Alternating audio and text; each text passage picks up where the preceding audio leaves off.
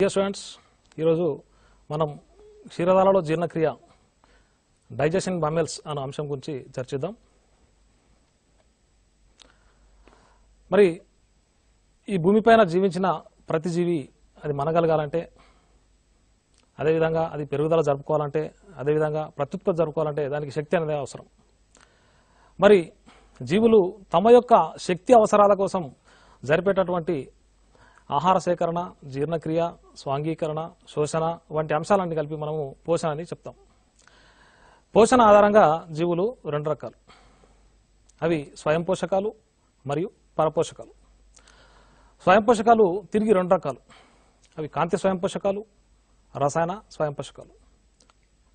Photo autotrophs and chemoautotrophs మరి కాంతి స్వయం పోషకాలు సూర్యు సూర్యుని నుండి లభించేటువంటి శక్తిని సూర్యరశ్మిని ఉపయోగించుకొని కిరణజన్య సంయోగ ద్వారా శక్తిని సంపాదించుకుంటాయి. ఉదాహరణ మొక్కలు.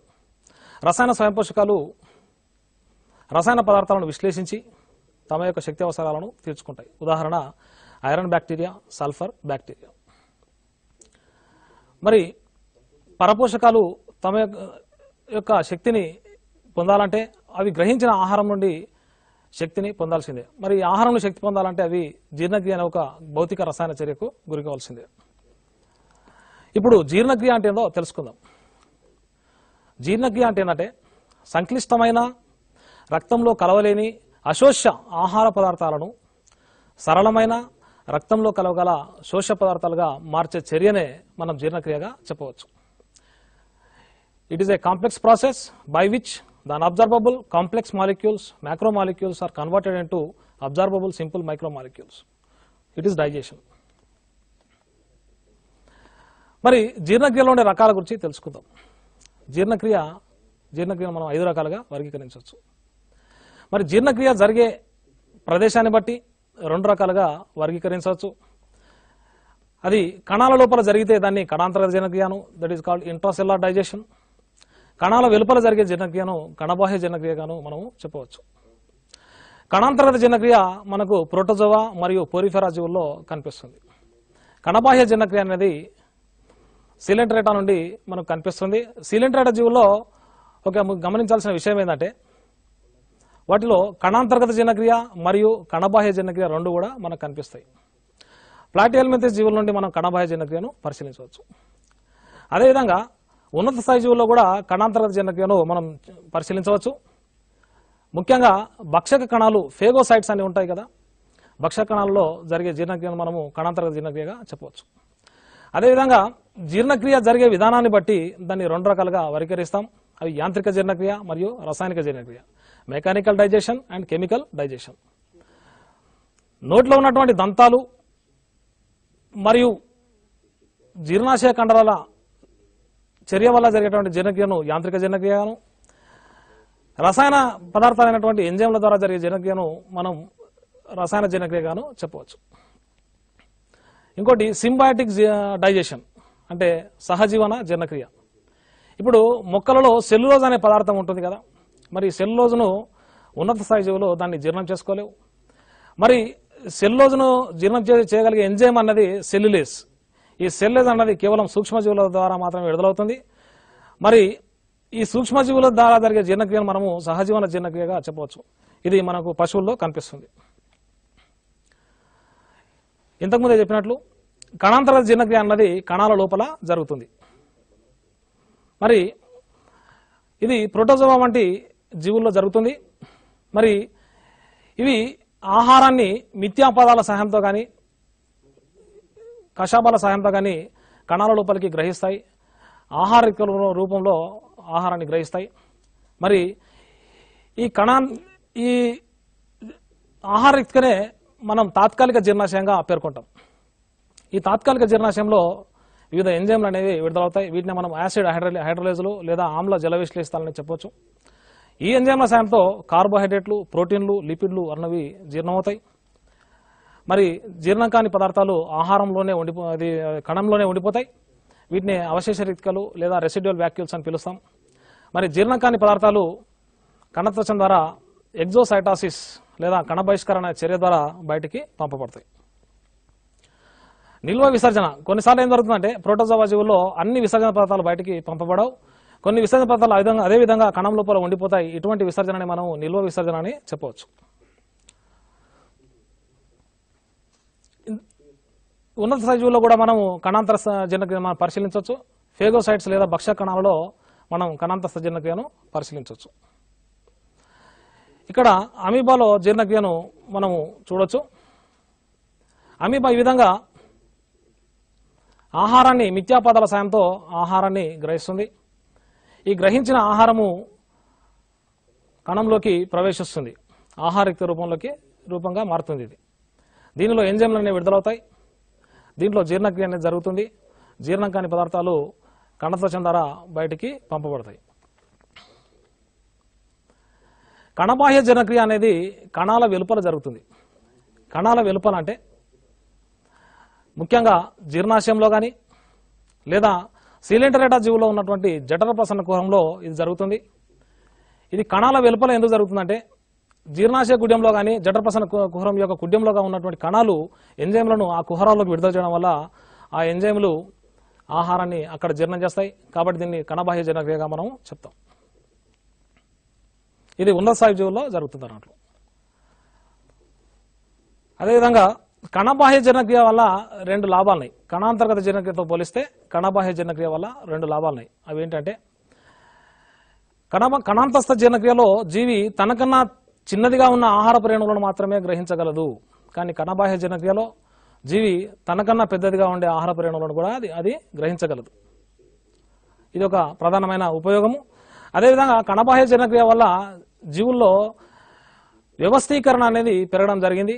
ముఖ్యంగా అవయవ వ్యవస్థీకరణ అంటాం మనం. అవయవ స్థాయి వ్యవస్థీకరణ అనేది కనిపిస్తుంది. కాబట్టి వివిధ అవయవాలు ఏర్పడడం వల్ల శ్రమ విభజన జరగడం వల్ల జీర్ణక్రియ అనేది సంపూర్ణంగా జరుగుతుంది ఇక్కడ. మరి జీర్ణక్రియ గురించి తెలుసుకునే ముందు జీ వివిధ జీవులో ఉన్నటువంటి జీర్ణ వ్యవస్థను పరిశీలిద్దాం. జీర్ణ వ్యవస్థలో ప్రధానంగా రెండు భాగాలు ఉంటాయి. అవి ఒకటి జీర్ణనాళము మరియు జీర్ణ గ్రంథులు జీర్ణనాళంలో వివిధ భాగాలు ఉంటాయి. అది నోటితో ప్రారంభమై ప్రధానంగా పాయుతో అంతమవుతుంది. జీర్ణ జీర్ణ వ్యవస్థలోని భాగాలు తీసుకుంటే నోరు. వెస్టిబ్యూల్ అనేది కుందేల్లో మాత్రమే కనిపిస్తుంది. తర్వాత ఆశకూరము దీంట్లో దంతాలు మరియు నాలుక ఉంటాయి. అదేవిధంగా గ్రసని దీంట్లో nasopharynx oropharynx laryngopharynx అంటే నాసికా గ్రసని ఆశగ్రసని అదేవిధంగా లారింగో ఫ్యారింగ్స్ మూడు గ్రసనలు మనకు కనిపిస్తాయి. అదేవిధంగా ఆహార నాళము ఆహార వాహిక. ఆహార వాహికలో ఎటువంటి జీర్ణగ్రంథులు అనేవి ఉండవు. ఇది ఆహార పదార్థాలను రవాణా చేయడానికి మాత్రమే ఉపయోగపడుతుంది. దీంట్లో ఎంజైమ్లు అనేవి విడుదల కావు. అదేవిధంగా జీర్ణాశయం. జీర్ణాశయంలో మూడు భాగాలు అవి హార్తిక జీర్ణాశయము ఫండిక్ జీర్ణాశయము మరియు జఠర నిర్గమ జీర్ణాశయం. గుండెకు దగ్గరగా ఉన్నటువంటి భాగాన్ని మనము హార్తిక జీర్ణాశయంగాను మధ్యలో ఉండే భాగాన్ని ఫండిక్ జీర్ణాశయంగాను అదేవిధంగా చివరి భాగాన్ని జఠర నిర్గమ జీర్ణాశయంగాను మనం చెప్పవచ్చు. అదేవిధంగా తర్వాతి భాగము చిన్న పేగు. చిన్న పేగులో మూడు భాగాలు ఉంటాయి. మొదటి భాగాన్ని ఆంత్రమూలము లేదా డియోడినం అని రెండవ భాగం జుజునం మూడవ భాగము శేషాంత్రికం అదేవిధంగా పెద్ద పేగులో రెండు భాగాలు ఉంటాయి. మొదటి భాగాన్ని కోలాన్ అని పిలుస్తాం రెండవ భాగాన్ని రెక్టం లేదా పురుషనాళం అని పిలుస్తాం. మరి కోలాన్లో మళ్ళీ నాలుగు భాగాలను మనము గమనించవచ్చు.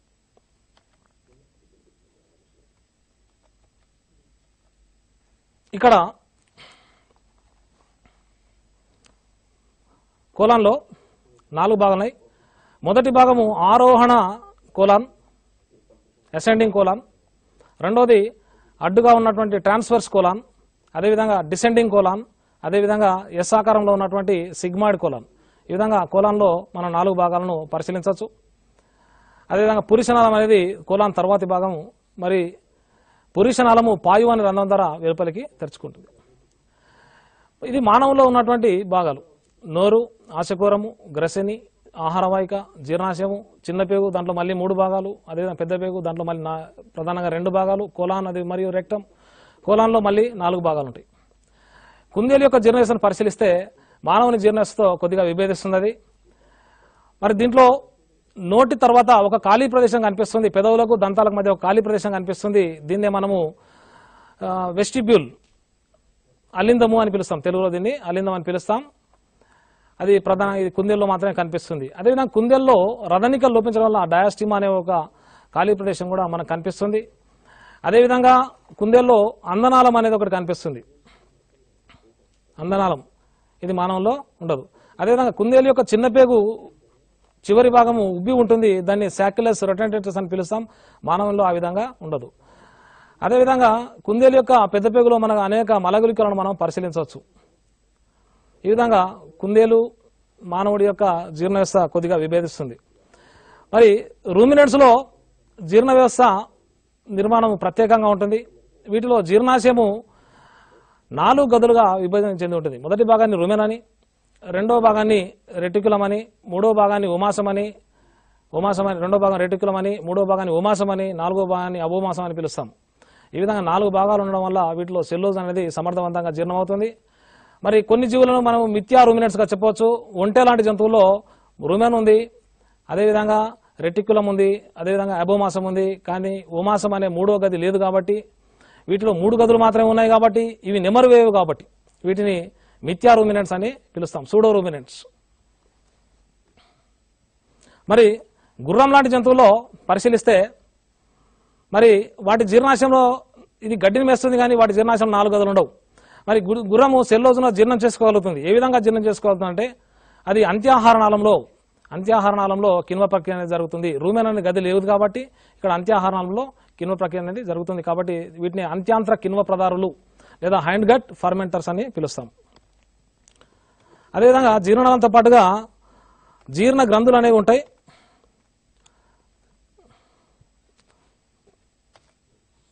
జీర్ణ గ్రంథులు.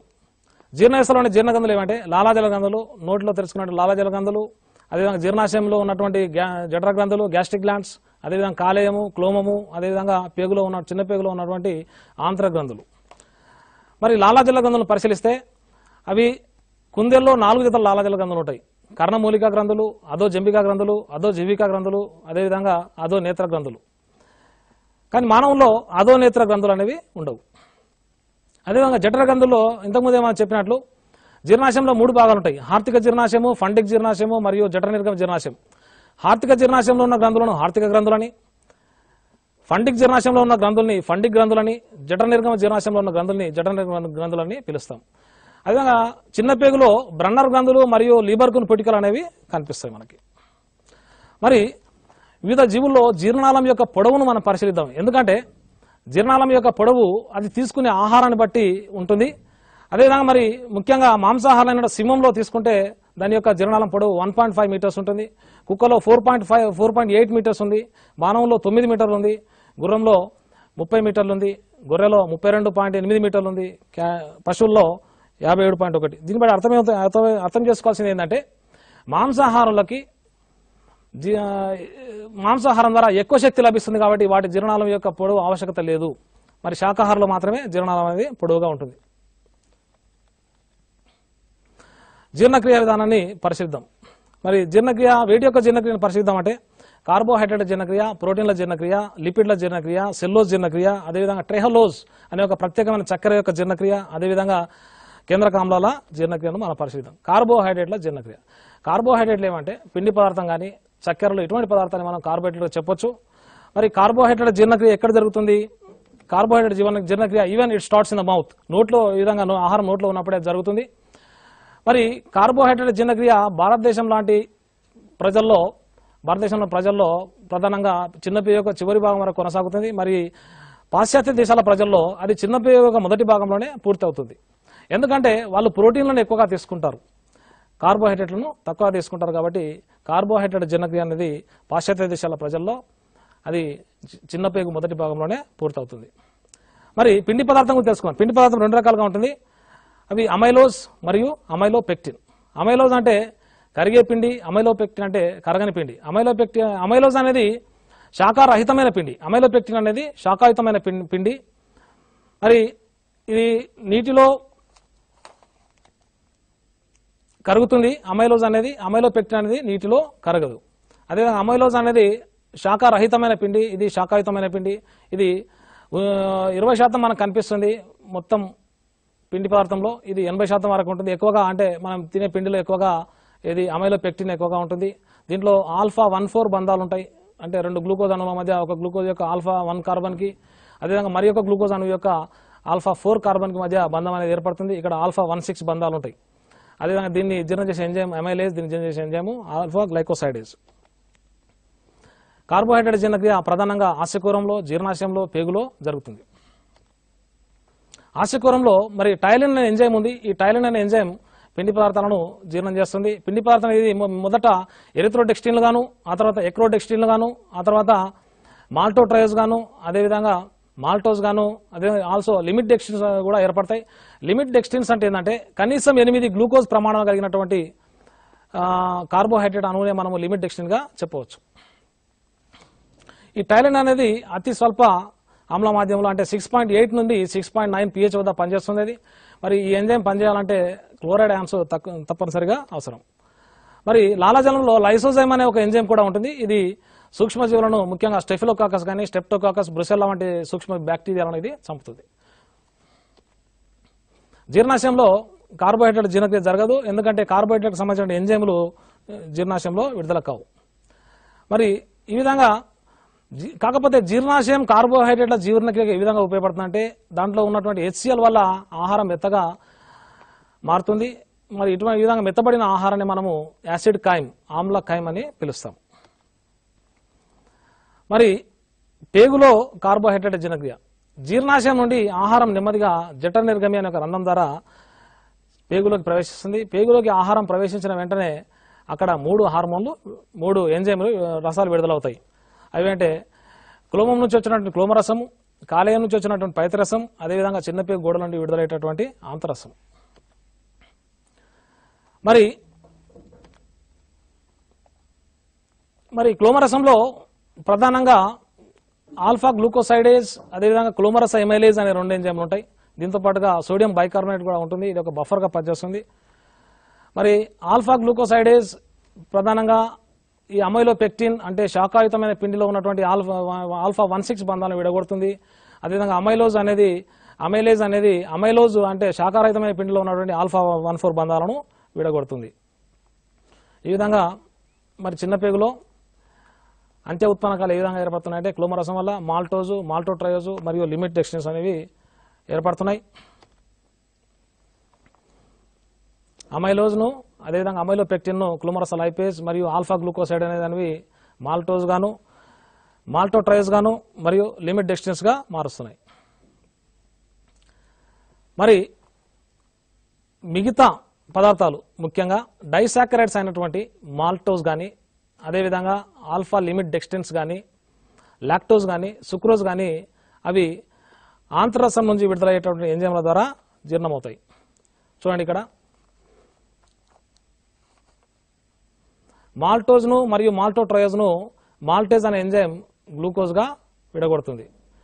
అదేవిధంగా డెక్స్టిన్స్ అనే ఎంజైమ్ అనే పదార్థాలని ఆల్ఫా డెక్స్టినేజ్ అనే ఎంజైమ్ గ్లూకోజ్గా మారుస్తుంది. పాలలో ఉన్నటువంటి లాక్టోజ్ అనే చక్కెరని లాక్టేజ్ అనే ఎంజైమ్ గ్లూకోజ్ మరియు గ్యాలక్టోజ్గా విడగొడుతుంది. అదేవిధంగా సుక్రోజ్ను అంటే టేబుల్ షుగర్ అంటే మనం డైలీ ఈటింగ్ రోజు తినేటువంటి చక్కెర దీన్ని సుక్రేజ్ అనే ఎంజైమ్ గ్లూకోజ్ మరియు ఫ్రక్టోజ్గా విడగొడుతుంది. మరి లాక్టోజ్ ఇంటాలరెన్స్ అంటే తెలుసుకుందాం. కొంతమంది లాక్టోజ్ అనే పాలలో ఉన్నటువంటి చక్కెర లాక్టోజ్ అనేది సరిగా జీర్ణం కాదు. మరి అది ఎందుకు ప్రధానంగా ఎందుకోసం అంటే due to absence of lactase అంటే లాక్టేజ్ అనే ఎంజైమ్ వీళ్ళలో ఉండదు కాబట్టి వీటిలో లాక్టోజ్ అనేది సరిగా జీర్ణం కాదు. మరి దీంట్లో సిమ్టమ్స్ లేదా లక్షణాలు ఏ విధంగా ఉంటాయంటే ప్రధానంగా కార్బన్ డైఆక్సైడ్ మరియు హైడ్రోజన్ వాయువులు విడుదలవుతాయి. అదేవిధంగా కార్బన్ ఆమ్లాలు విడుదలవుతాయి కాబట్టి పేగులో నొప్పిగా ఉంటుంది. అది నాసియా అంటే వామిటింగ్ లాంటివి కూడా వస్తుంటాయి. బ్లోటింగ్ కడుపు ఉబ్బడం కూడా కనిపిస్తుంది. విరేచనాలు కూడా కనిపిస్తాయి.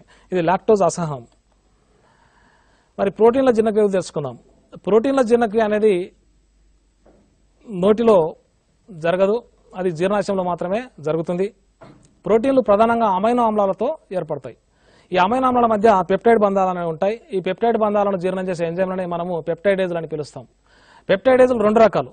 ఎగ్జోపెప్టైడేజులు ఎండోపెప్టైడేజులు.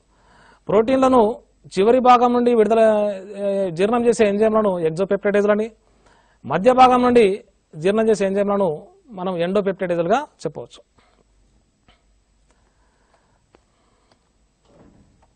మరి ప్రోటీన్ల జీర్ణక్రియ తెలుసుకునే ముందు జీర్ణాశయం గోడలలో ఉన్నటువంటి కణాల గురించి తెలుసుకుందాం. జీర్ణాశయం గోడల్లో ఉండే గ్రంథుల్ని జఠర గ్రంథులు అని పిలుస్తాం. మరి జీర్ణాశయం గోడల్లో ఉన్న జఠర గ్రంథుల్లో వివిధ రకాల కణాలు ఉంటాయి. ప్రధానంగా పెప్టిక్ కణాలు ఇవి జైమోజన్స్ లేదా ప్రోఎంజైమ్స్ అనే ఎంజైమ్ విడుదల చేస్తాయి. ఆక్సింటిక్ కణాలు ఎస్సిఎల్ మరియు క్యాసిల్స్ అంతర్గత కారకాన్ని విడుదల చేస్తాయి. శ్లేష్మ కణాలు శ్లేష్మాన్ని మరియు బైకార్బోనేట్ విడుదల చేస్తాయి. జీ కణాలు గ్యాస్ట్రిన్ అనే హార్మోన్ విడుదల చేస్తాయి. డి కణాలు సొమాటోస్టాటిన్ అనే పదార్థాన్ని విడుదల చేస్తాయి. క్రొమాఫిన్ కణాలు హిస్టమైన్ అనే పదార్థాన్ని విడుదల చేస్తాయి ఒక ఆశ్చర్యకరమైన విషయం ఏంటంటే హైడ్రోక్లోరిక్ ఆమ్లం అనే మన జీర్ణాశయంలో ఉన్న హైడ్రోక్లో క్లోరిక్ ఆమ్లము ఇనుప వస్తువులను కూడా అది జీర్ణం చేయగలదు. మరి ఇక్కడ ప్రోటీన్ల జీర్ణక్రియను పరిశీలిస్తే ఆశకూరంలో ప్రోటీన్ల జీర్ణక్రియ అనేది జరగదు. ఇది కేవలం జీర్ణాశయంలో మాత్రమే ప్రారంభమవుతుంది. జీర్ణాశయంలో ప్రోటీన్లు జీర్ణ చేసే ఎంజైమ్లు ప్రధానంగా రెండు ఎంజైమ్లు విడుదలవుతాయి. అవి పెప్సిన్ మరియు రెనిన్. పెప్సిన్ ప్రధానంగా అది పెప్సినోజన్ రూపంలో విడుదలవుతుంది. మరి పెప్సినోజన్ను ఎస్సిల్ అనేది పెప్సిన్గా మారుస్తుంది. పెప్సినోజన్ విడుదలైన పెప్సినోజన్ మిగతా పెప్సిన్ని పెప్సినోజన్ను అది పెప్సిన్గా మారుస్తుంది. దీన్నే మనం స్వయం ప్రేరణగా పిలుస్తాం. అంటే ఏం జరిగింది ఇక్కడ? పెప్సినోజన్ను మొదట హైడ్రోక్లోరిక్ ఆమ్లం అనేది పెప్సిన్గా మార్చింది. ఎప్పుడైతే పెప్సిన్ అనేది ఏర్పడిందో ఈ పెప్సిన్ మిగతా పెప్సినోజన్ను అది పెప్సిన్గా మారుస్తుంది. అంతేగాని హైడ్రోక్లోరిక్ ఆమ్లానికి ఆ అవకాశాన్ని ఇవ్వదు. దీన్నే మనం స్వయం ప్రేరణ అని చెప్పొచ్చు. మరి పెప్సిన్ చేసే పని ఏంటంటే ప్రోటీన్లను అది పెప్టైడ్లు మరియు పాలీపెప్టైడ్లుగా విడగొడుతుంది. మరి రెనిన్ పాలనలో ఒక ఎంజైమ్ ఉంటుంది అనుకున్నాం. పాలన జీర్ణ అది పాలన జీర్ణం చేసే ఎంజైమ్ ఒకటి ఉంటుంది. అది రెనిన్ మరి ఇది చిన్న పిల్లల్లో మాత్రమే విడుదలవుతుంది. ఆరు ఆరు నెలల వయసు లోపల ఉన్నటువంటి చిన్నపిల్లల్లో మాత్రమే విడుదలవుతుంది. మరి ఈ రెనిన్ చేసే పని ఏంటంటే ఇది ప్రధానంగా ప్రోరెనిన్ రూపంలో విడుదలవుతుంది దీన్ని పెప్సిన్ రెనిన్గా మారుస్తుంది. మరి ఈ రెనిన్ పాలలో ఉన్నటువంటి ద్రవ రూపంలో ఉన్నటువంటి కెసిన్ అనే ప్రోటీన్ అది పారాకెసిన్ అనే పదార్థంగా మారుస్తుంది. ఈ పారాకెసిన్ కాల్షియంతో కలవడం వల్ల కాల్షియం పారాకెసినేట్ అనేది ఏర్పడుతుంది. ఇది ఘనీభవించిన పాలు ప- పాల పదార్థం. దీన్ని మనం కౌడ్లింగ్ అని చెప్పవచ్చు ఈ కాల్షియం పారాకెసినేట్ను మళ్ళీ పెప్సిన్ అనేది జీర్ణం చేసి మళ్ళీ పెప్టైడ్లు గాను పాలిపెప్టైడ్లు గాను విడగొడుతుంది. మరి ఈ జీర్ణాశయంలో ఉండే రెనిన్కి మూత్రపిండంలో ఉండే రెనిన్కి తేడా ఉంది. జీర్ణాశయంలో ఉండే రెనిన్ స్పెల్లింగ్ ఏంటంటే ఆర్ఈఎన్ఎన్ఐఎన్ రెనిన్. మరి మూత్రపిండంలో ఉండే రెనిన్ ఏంటంటే ఆర్ఈఎన్ఐఎన్ మరి జీర్ణాశయంలో ఉండే రెనిన్ రెనిన్ అనేది ఒక ఎంజైము. మూత్రపిండం ద్వారా విడుదలయ్యేటటువంటి రెనిన్ అనేది ఒక హార్మోన్. అది మూత్రపిండంలో JG cells juxta Gomel glomerular cells JG cells అనే కణాల ద్వారా అది విడుదలవుతుంది. అది రెన్నిన్కు మరియు రెనిన్కు మధ్య ఉన్న తేడా. మరి ఇక్కడ మనం పరిశీలించవచ్చు. Artificial rennin or commercial rennin ఎందుకంటే చిన్నపిల్లలలో పాలు సరిగా అరగనందున వాళ్ళకి ట్యాబ్లెట్ల రూపంలో రెనిన్ అందించడం జరుగుతుంది. ఫ్రొమేజ్ ఫిఫ్టీ లేకపోతే జంకెట్ ఇటువంటి వ్యాపార బ్రాండ్లలో అది మనకు లభ్యమవుతుంది. మరి ఈ ఎంజైమ్ను రెనిన్ ఎంజైమ్ను మనం ఐస్ క్రీమ్ల తయారీలో కూడా ఉపయోగిస్తాం. మరి జీర్ణాశయం తర్వాత ఆహార పదార్థాలు చిన్న పేగులోకి ప్రవేశిస్తాయి. చిన్న పేగులో మరి క్లోమరసం ఆంతరసం పైతరసం అనేవి విడుదలవుతాయి. మనకు ముందుగానే తెలుసు పైతరసంలో ఎంజైమ్ అనేవి ఉండవు. కానీ పైతరసం జీర్ణక్రియ కావాల్సినటువంటి పిహెచ్ను అది అందిస్తుంది. మరి ఆంతరసంలో ఎంటిరోపెప్టైడేస్ ఇంతకుముందు దీన్ని ఎంటిరోకైనేజ్ అని పిలుస్తు పిలిచేవాళ్ళం. మరి ఎంట్రోపెప్టైడేజ్ అనే ఎంజైము క్లోమరసం ద్వారా వచ్చినటువంటి ట్రిప్సినోజన్ను అది చైతన్యవంతమైన ట్రిప్సిన్గా మారుస్తుంది. మరి క్లోమరసంలో ఉన్న ఎంజైమ్లు ఏమంటే ట్రిప్సిన్ అదేవిధంగా కైమోట్రిప్సిన్ అదేవిధంగా ఇలాస్టేజ్ అదేవిధంగా కొల్లాజన్ కొలాజినేజ్ ఇవన్నీ కూడా బ్రోఎంజైమ్స్ రూపంలో విడుదలవుతాయి. వీటిని ప్రధానంగా ట్రిప్సిన్ చైతన్యవంతంగా మారుస్తుంది అన్నట్లు మరి ట్రిప్సిన్ ప్రధానంగా ఇది ట్రిప్సినోజన్ రూపంలో విడుదలవుతుంది. మరి ఇది ఎంటిరోపెప్టైడేస్ లేదా ఎంటిరోకైనేస్ అనే ఒక కారకం ద్వారా అది ట్రిప్సిన్ అనే- అనే చైతన్యవంతమైన రూపంలోకి మారుతుంది. మరి ఈ ట్రిప్సిన్ చేసే పని ఏంటంటే ప్రోటీన్లను పెప్టైడ్లను పాలిపెప్టైడ్లుగాను డైపెప్టైడ్లుగాను మారుస్తుంది. అదేవిధంగా ఇంకొక ఎంజైమ్ కైమోట్రిప్సిన్ ఇది కూడా క్లోమరసంలో ఉంటుంది. ఇది కూడా జైమోజన్ రూపంలో అంటే కైమోట్రిప్సినోజన్ రూపంలో విడుదలవుతుంది. దీన్ని కూడా ట్రిప్సిన్ కైమోట్రిప్సిన్గా మారుస్తుంది. మరి ఈ కైమోట్రిప్సిన్ యొక్క ఇంపార్టెన్స్ ఏంటంటే ఇది పెరుగును పాలను గడ్డ కట్టించే ఎంజైమ్గా కూడా పనిచేస్తుంది. ఇంతకుముందు చెప్పిన రెనిన్తో పాటుగా ఇది కూడా పాలను గడ్డ కట్టిస్తుంది అన్నట్లు. అదేవిధంగా ఇలాస్తేజ్ అనే ఒక ఎంజైమ్ ఉంది. ఇలాస్తేజ్. ఈ ఇలాస్తేజ్ అనేది సందాయక కణజాలంలో మాంసాహారంలో ఉన్నటువంటి సందాయక కణజాలంలో ఉన్నటువంటి ఇలాస్టిన్ తంతువులను అది జీర్ణం చేస్తుంది. అదేవిధంగా కార్బాక్సీపెప్టైడ్ అనే ఎంజైమ్ కూడా క్లోమరసంలో ఉంటుంది. ఇది కార్బాక్సీ పెప్టైడేజ్ అంటే అమైనామ్లా అంటే మనకు తెలుసు కదా. అమైనామ్లలో ఆమ్లాల్లో రెండు కొనలు ఉంటాయి ఒక కొనలో ఎన్హెచ్ టూ సమూహం ఉంటుంది. ఇంకో కొనలో సిఓహెచ్ సమూహం ఉంటుంది. ఏ కొనలో అయితే సిఓహెచ్ ఉంటుందో సిఓహెచ్ ఫ్రీగా ఉంటుందో C O C O H స్వేచ్ఛగా ఉన్న అమైనో ఆమ్లాన్ని విడదీసే ఎంజైమ్ ఏంటంటే కార్బాక్సీ పెప్టైడేజ్ అమైనో పెప్టైడేజ్ అది ఆంతరసంలో ఉంటుంది. అది అమైనో ఆమ్లాల చివరన ఎన్హెచ్ ఎక్కడైతే స్వేచ్ఛగా ఉంటుందో అక్కడ అది పనిచేస్తుంది అన్నట్లు. అదేవిధంగా చిన్న పేగులో ఆంతరసం ద్వారా విడుదలయ్యే మరి ఒక ఎంజైము డైపెప్టైడేస్. ఈ డైపెప్టైడేస్ అనే ఎంజైము డైపెప్టైడ్లను జీర్ణం చేస్తుంది అన్నట్లు. డైపెప్టైడ్లను రెండు అమైనామ్లాలుగా విడగొడుతుంది.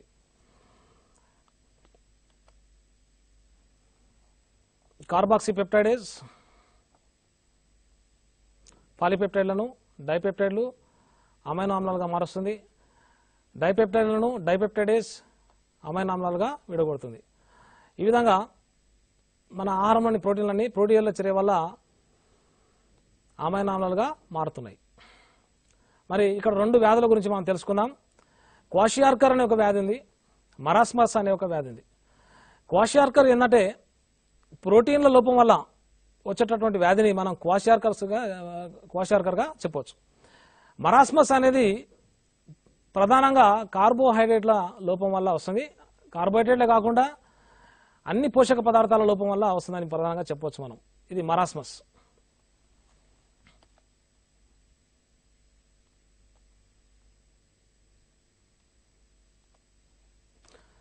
కొవ్వుల జీర్ణ గురించి తెలుసుకుందాం.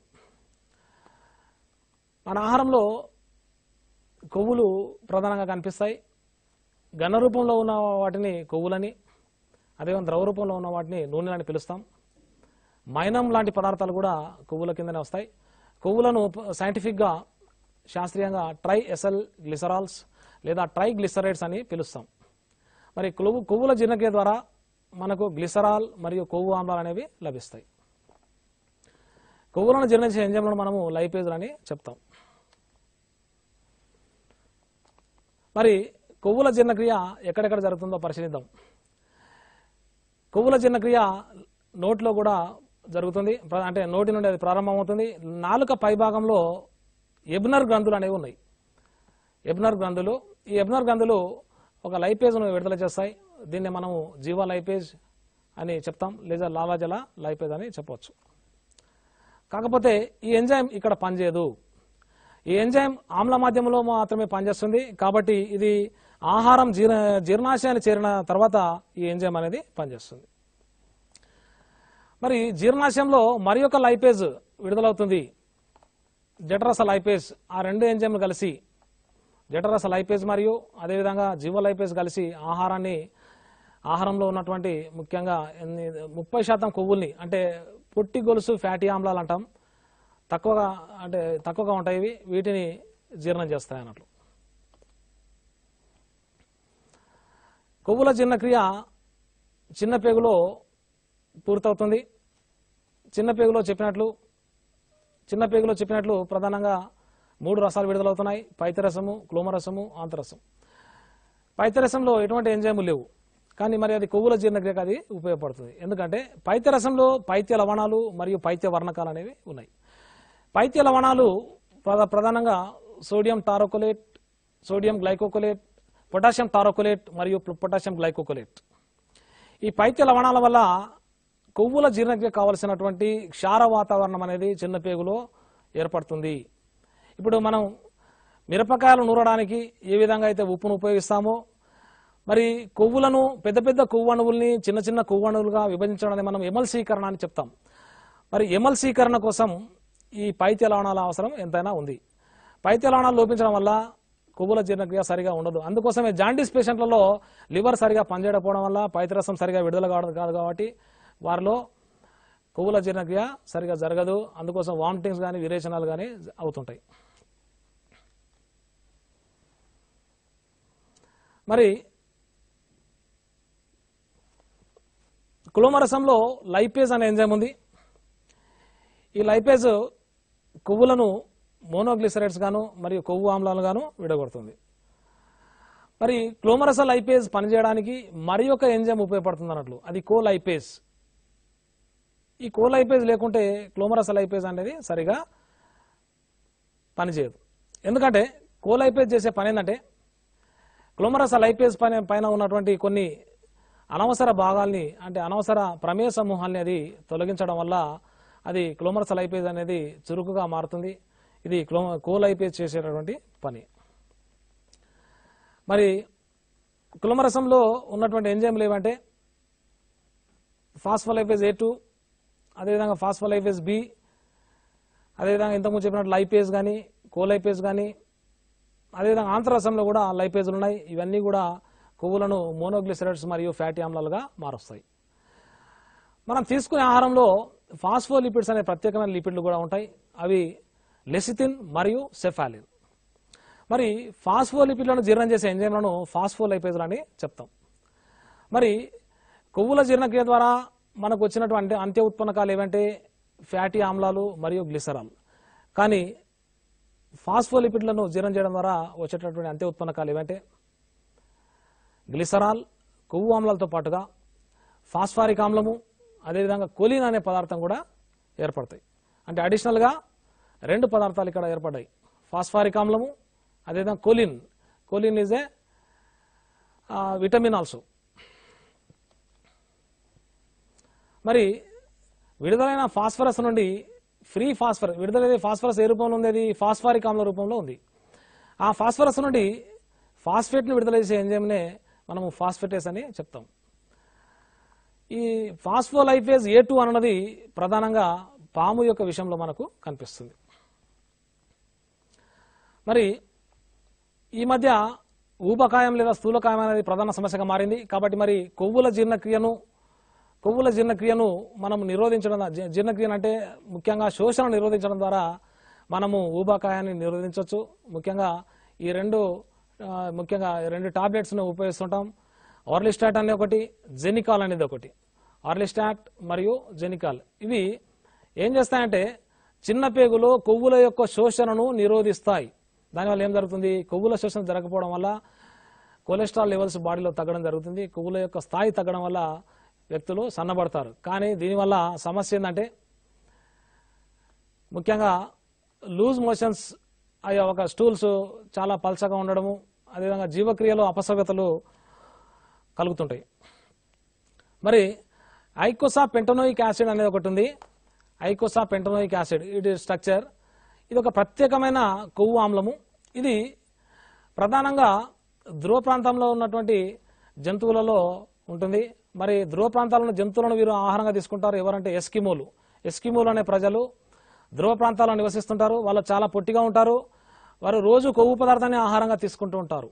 కానీ వాళ్ళకి ఎట్టి పరిస్థితుల్లో కూడా గుండె జబ్బులు అనేవి రావు. దానికి కారణం ఏంటంటే ఈ ఐకోసా పెంటనోయిక్ యాసిడ్ అనేటువంటి ఒక ఆమ్లం. ఇది ఒక ఒమేగా త్రీ ఫ్యాటీ ఆమ్లము. దీనివల్ల కొలెస్ట్రాల్ లెవెల్స్ అనేవి బాడీలో తగ్గుతాయి. మరి సెల్లోజ్ గురించి తెలుసుకున్నాం సెల్లోజ్ జీర్ణక్రియ. సెల్యులోజ్ అనేది ఇది ఒక పాలిసాకరైడ్ అనేక గ్లూకోజ్ ప్రమాణాల చేత ఇది ఏర్పడి ఉంటుంది. దీంట్లో రెండు గ్లూకోజ్ ప్రమాణాలు బీటా వన్ ఫోర్ బంధాల ద్వారా బంధించబడి ఉంటాయి. మరి సెల్లోజ్ నిజ చేయగల ఎంజైమ్ సెల్లేజ్ మాత్రమే. మరి సెల్యులేజ్ అనేది ఇంతకుముందు చెప్పినట్లు సెల్యులేజ్ అనేది కేవలం సూక్ష్మజీవుల ద్వారా మాత్రమే విడుదలవుతుంది. మరి ఈ సెల్యులేజ్ అనేది కేవలం సెల్లోజ్నే కాకుండా హెమీ సెల్యులోజ్ పెక్టిన్ వంటి పదార్థాలను కూడా ఇది జీర్ణం చేస్తుంది. దేనిగా మారుస్తుంది? గ్లూకోజ్గా మారుస్తుంది. మరి అదేవిధంగా ఈ మరి గ్లూకోజ్ నుండి లేదా సెల్యులోజ్ నుండి కొన్ని పదార్థాలు వస్తాయి కర్బన ఆమ్లాలు వస్తాయి. ముఖ్యంగా కిన్వా ప్రక్రియ ఎందుకంటే వాటి జీర్ణాశయంలో నాలుగు భాగాలు ఉన్నాయి. రుమెన్ రెటిక్యులం ఉమాసం అబోమాసం మరి నాలుగు గదుల్లో మొదటి గది అయినటువంటి రుమెన్లోను రెండో గది అయినటువంటి రెటికులంలో సూక్ష్మజీవులు ఉన్నాయి కాబట్టి అక్కడ కిన్వ ప్రక్రియ జరుగుతుంది. కిన్వ ప్రక్రియ ద్వారా లాక్టిక్ ఆమ్లము బ్యూటరిక్ ఆమ్లము ఎసిటిక్ ఆమ్లము ప్రొపియానిక్ ఆమ్లం వ్యాలరిక్ ఆమ్లం క్యాపరిక్ ఇటువంటి ఆమ్లాలు విడుదలవుతున్నాయి అదేవిధంగా ఆమ్లాలతో పాటుగా కార్బన్ డైఆక్సైడ్ మరియు మీథేన్ అనే వాయువులు విడుదలవుతున్నాయి అందుకోసమే పశువు యొక్క నోటి దగ్గర మనము నోటిని నాసిక నుంచి పరిశీలించినట్లయితే మనకు దుర్వాసనగా అనిపిస్తుంది. దీనికి కారణం ఏంటంటే పశువుల నోటి నుండి విడుదలయ్యేటటువంటి మీథేన్ అనేటువంటి ఒక రకమైన వాయువు. మరి ఈ విడుదలైన ఈ కర్బన ఆమ్లాలను పశువు తర్వాత వినియోగించుకుంటుంది. కర్బన ఆమ్లాలు వచ్చినాయంటే తప్పకుండా దాని నుంచి మరి తిరిగి అది శక్తిని పొందగలదు. కాకపోతే నేరుగా ఏటీపీ మాత్రం ఇక్కడ లభించడం లేదు. మరి ట్రెహలోజ్ అనే చక్కెర యొక్క జీర్ణక్రియను ఇక్కడ పరిశీలిద్దాం. ట్రెహలోజ్ అనేది ఒక ప్రత్యేకమైన చక్కెర. ఇది కీటకాలలో ఉన్నటువంటి చక్కెర. మరి కొన్ని క్షీరదాలు గబ్బిలాలు కానీ ఇటువంటి కీటకాహార జంతువులు ఉన్నాయి కదా. అటువంటి క్షీరదాలు ఈ సే- ట్రెహలోజ్ అంటే కీటకాలను ఆహారంగా తీసుకున్నప్పుడు కీటకాల రక్తంలో ఉన్నటువంటి ఈ ట్రె- ట్రెహలోజ్ దీన్ని మనం ఇన్సెక్ట్ షుగర్ అని పిలుస్తాం. ఈ ట్రెహలోజ్ను అవి ఏ విధంగా జీర్ణం చేసుకుంటాయో మనం పరిశీలిద్దాం. దీంట్లో ట్రెహలోజ్ను జీర్ణం చేసే చేసుకోవడానికి చేయడానికి ఉపయోగపడే ఎంజైమ్ ట్రెహలేజ్ అనే ఒక ఎంజైమ్ వీటి యొక్క జీర్ణ వ్యవస్థలో విడుదలవుతుంది. ఇది ట్రెహలోజ్ను ఎందుకంటే ట్రెహలోజ్లో రెండు గ్లూకోజ్ ప్రమాణాలు ఉన్నాయి రెండు గ్లూకోజ్ ప్రమాణాలుగా అది విడదీస్తుంది అన్నట్లు.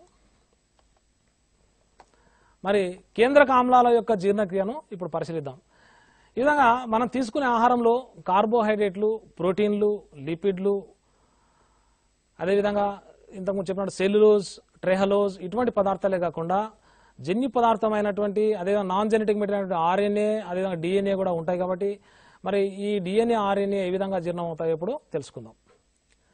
ముందుగా డిఎన్ఏ మరియు ఆర్ఎన్ఏని జీర్ణం చేసే ఎంజైమ్ ఏదంటే డిఎన్ఏఎస్ కానీ ఆర్ఎన్ఏఎస్ ఇవి డిఎన్ఏను ఆర్ఎన్ఏను న్యూక్లియోటైడ్లుగా మారుస్తాయి.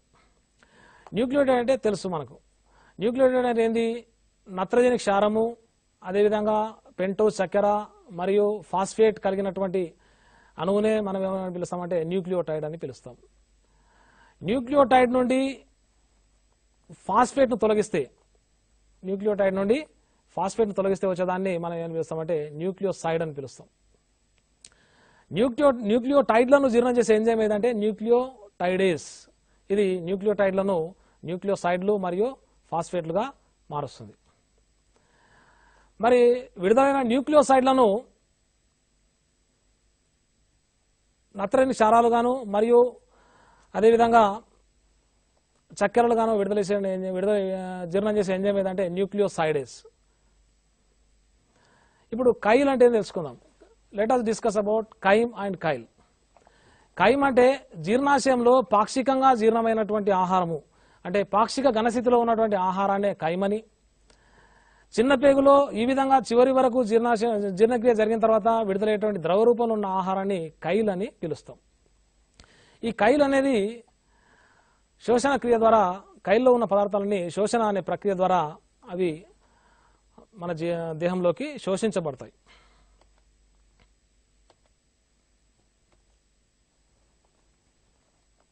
ఇప్పుడు జీర్ణక్రియ ద్వారా ఏర్పడినటువంటి అంత్య ఉత్పన్న ఏవో పరిశీలిద్దాం.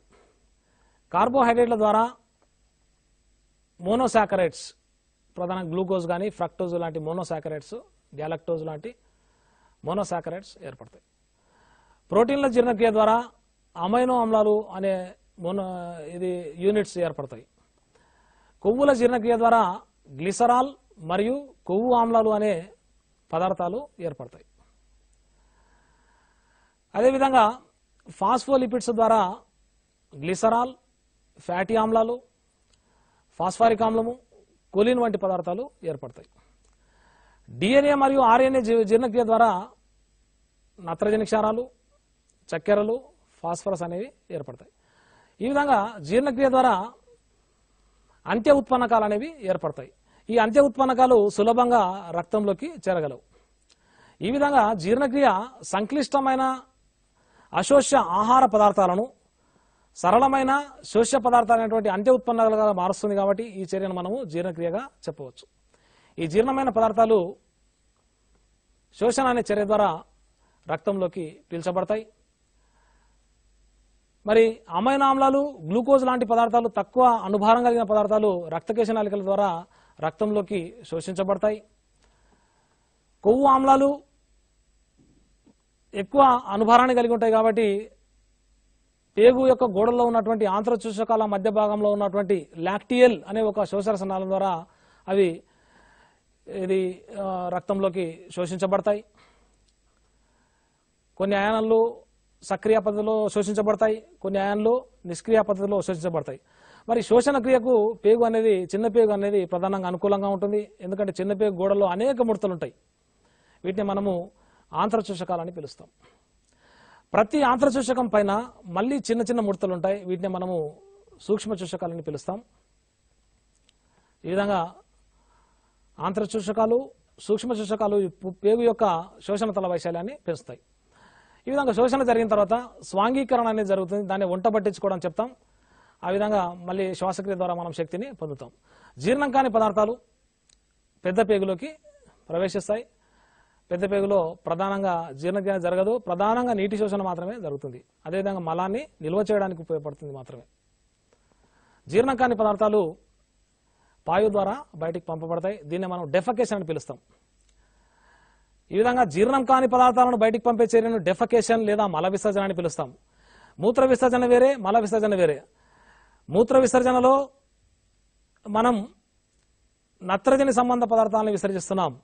కానీ డెఫకేషన్లో ఆ విధంగా జరగడం లేదు. మల విసర్జనలో ఆ విధంగా జరగడం లేదు. మల విసర్జనలో జీర్ణం కాని పదార్థాలను బయటికి పంపిస్తున్నాం.